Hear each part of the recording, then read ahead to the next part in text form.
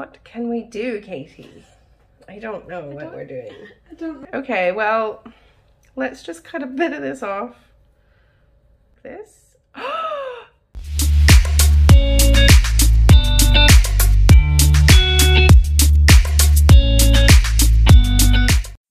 So today I'm doing Katie's nails. I'm still recovering from COVID as I do this voiceover.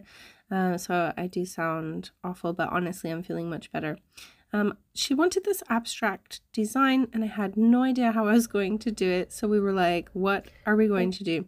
I got this little metal scouring sponge, and it worked really well. I was so chuffed when I did that first little lay down of the blue. So I'm just going to do some dipping and dabbing of each color.